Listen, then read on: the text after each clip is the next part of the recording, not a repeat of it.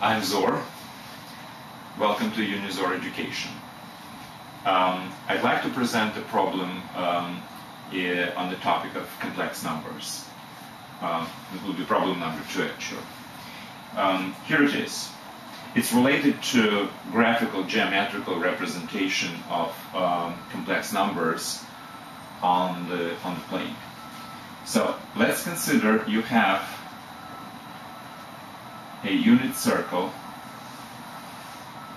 and a complex number on it.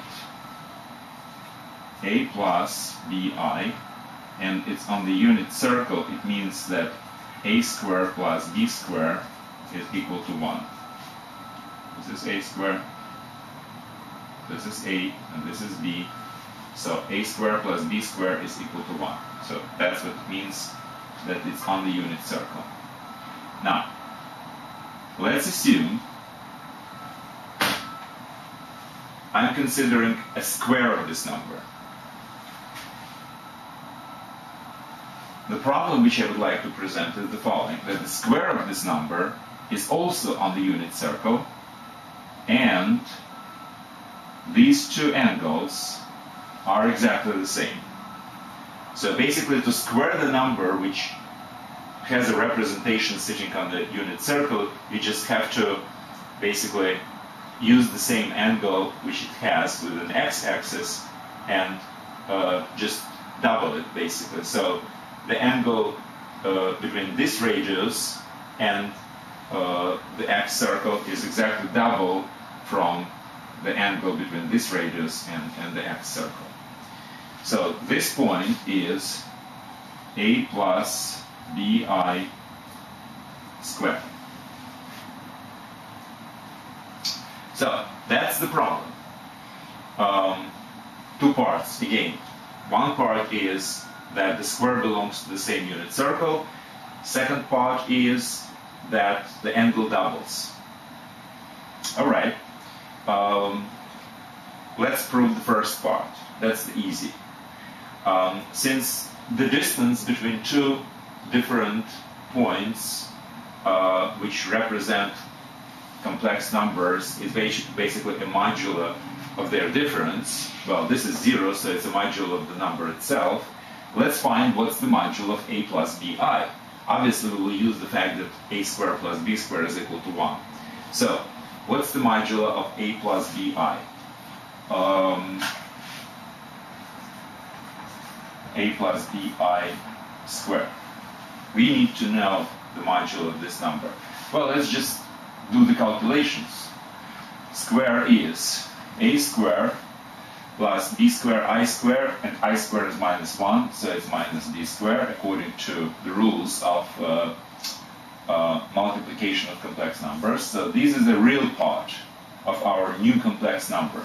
And our uh, imaginary part will be uh, AB, 2ABI. Okay, what's the modulo of this? Modulo is square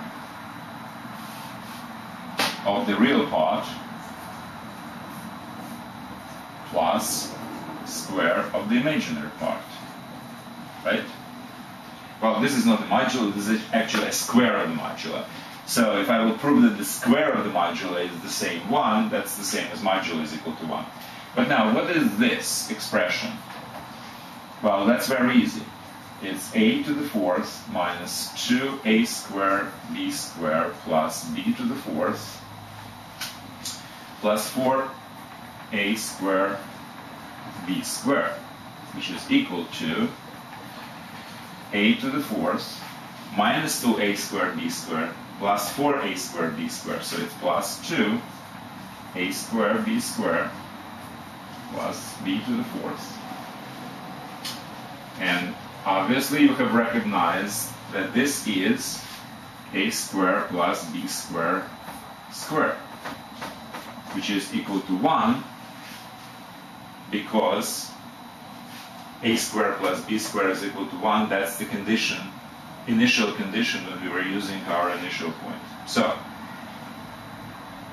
proof that the square of our um, complex number which belongs to the unit circle also belongs to the unit circle. That's easy. Okay, that's the first part.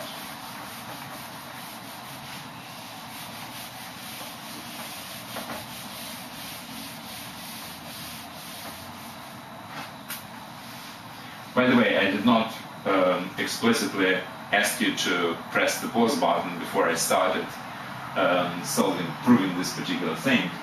Um, well, I forgot actually. Now you can press it because um, if you want, the, the, the, most important part of this problem is number two actually, that the angle is doubled.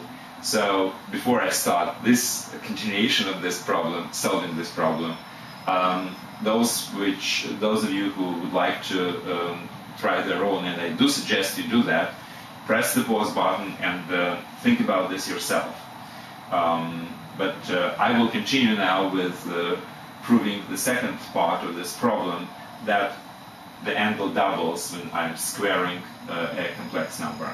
This is a little bit more involved, but anyway, here it goes. I hope you did press the, press, the pause button. Okay. Um, let's consider these two segments. This, by the way, is 1 because it's a unit circle. This is also 1.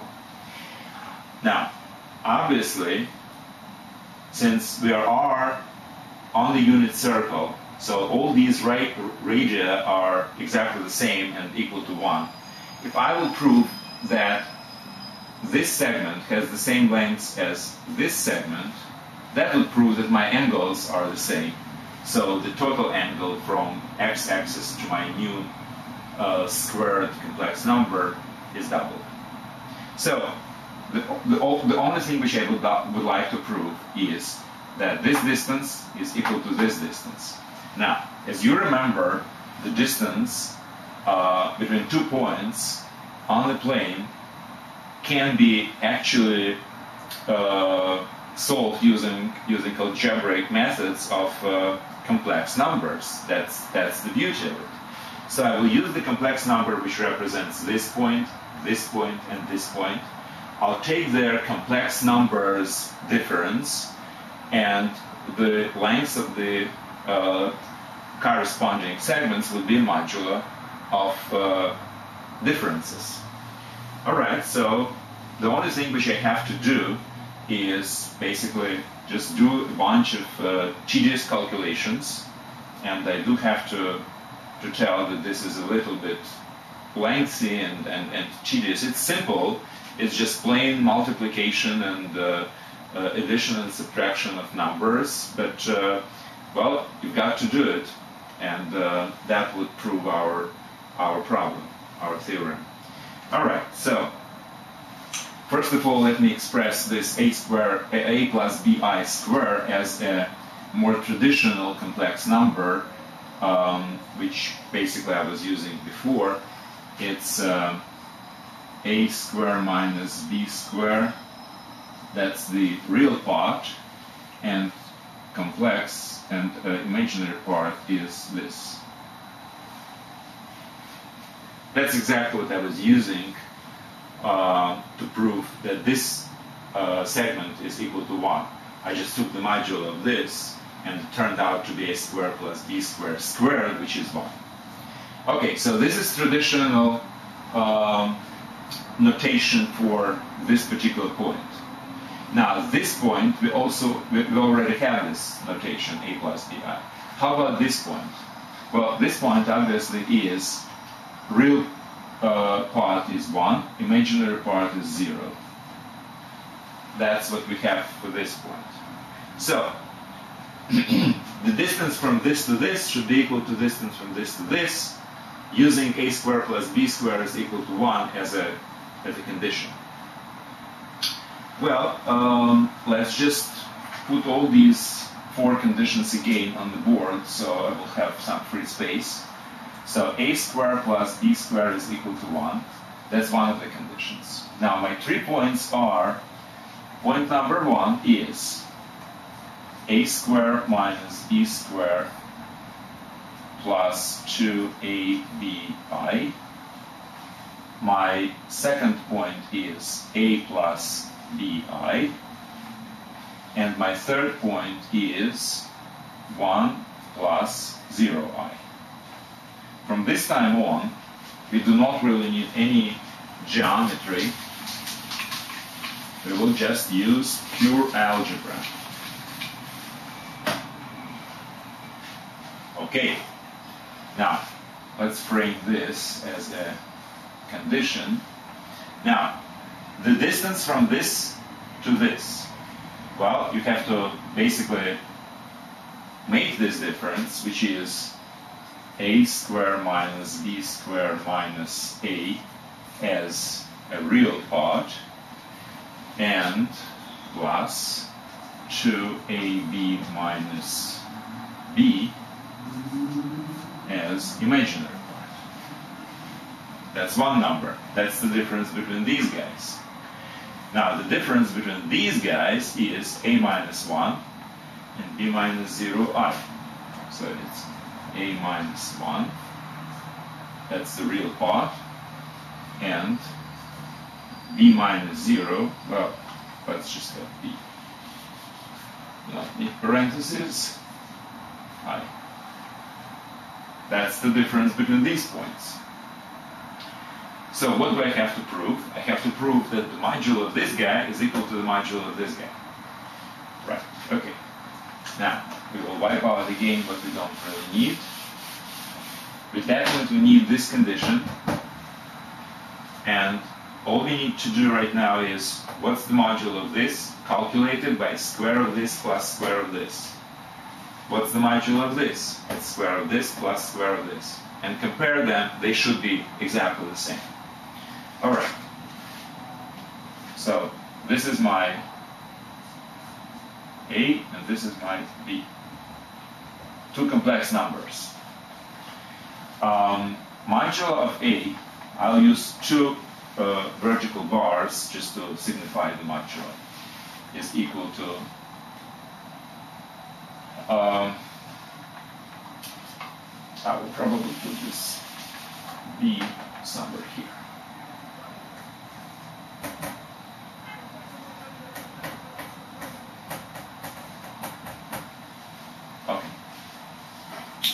Modulo of A, square of this plus square of this. Uh, yeah, that's tedious, but anyway a square minus b square minus a times a square minus b square minus a. That's the square of this guy.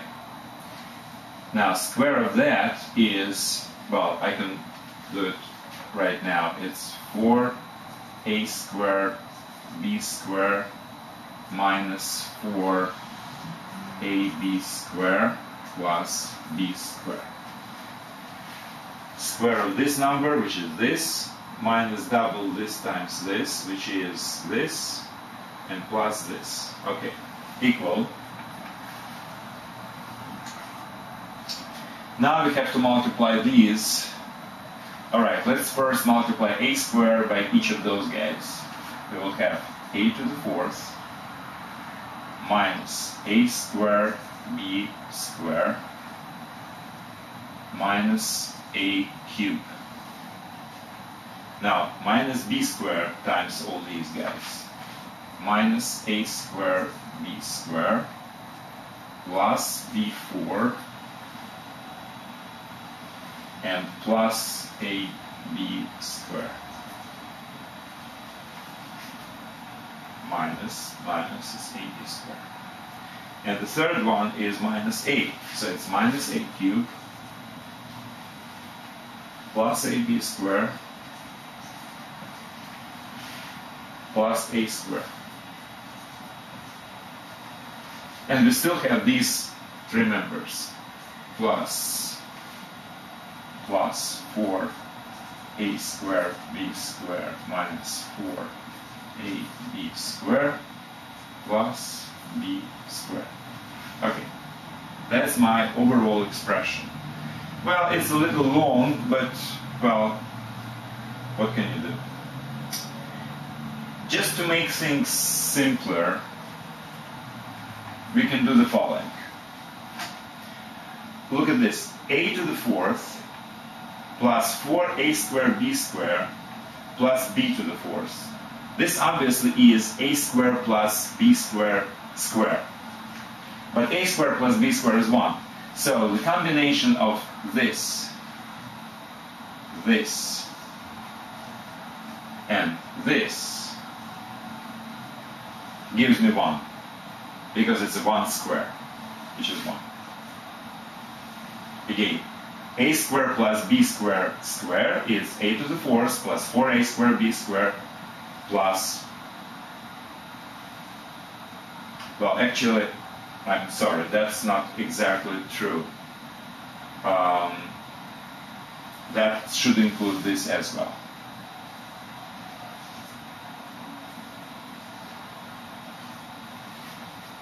Right, minus 2a squared b squared and minus, because minus ab squared, a squared b squared, and minus a squared b squared, and plus 4a a squared b squared, all together is 2 plus 2a squared b squared. And that's what gives me 1. Because a squared plus b squared squared will be a to the fourth plus 2a squared b squared, which is this, this, and this. Minus 1, minus 1, and plus 4. So it's 2a squared b squared. And b to the fourth. So that's 1. Okay. I, I, I, told you it's a little tedious and uh, not very interesting. Anyway, um, what else do we have here? Hmm. Okay.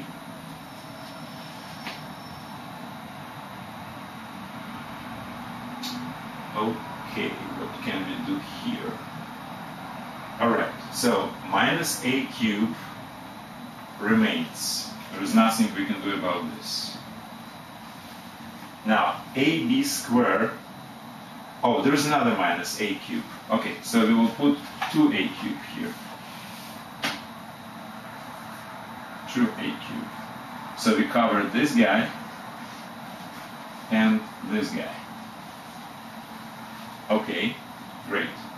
Now, plus ab squared plus ab squared and minus 4ab squared. So it's minus 2ab squared. So we covered this, we covered this, and we covered this. What's remaining?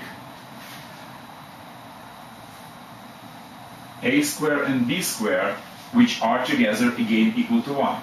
So we have another 1 so instead of that, I will put 2 here.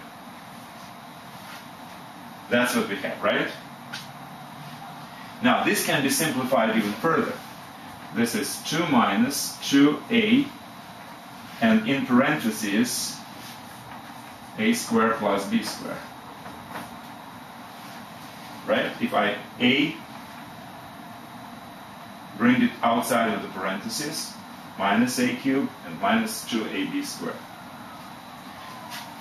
Which is equal to, again, as we know, a squared plus b squared is 1, so it's 2 minus 2a. So you see, such a very big and complex, um, complex in terms of complexity, not complex numbers. Um, such a big expression actually simplified to relatively uh, simple, simple form. Okay, so that's my modular of the difference between um, square of the complex number and complex number itself, originally. Okay, so let's just put it somewhere here.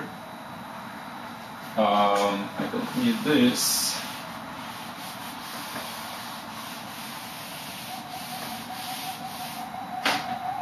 And I can just write the answer. 2 minus 2a. Very nice, very simple, etc. Okay, great. Now, B, what's the modulo of uh, the difference between our original complex number and the, the point on the circle which lies on the x-axis. Remember?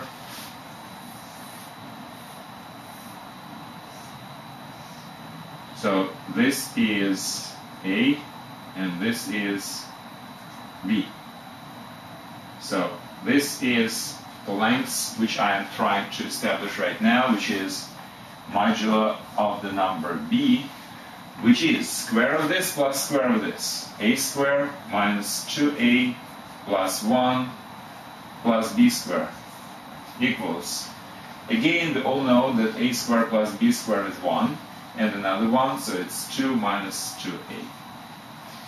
As you see, they are equal, which basically proves the point. So whenever you square this number, which uh, is represented by a point on the unit circle, you just have to double the angle from this number to the x-axis. So this is 2 alpha.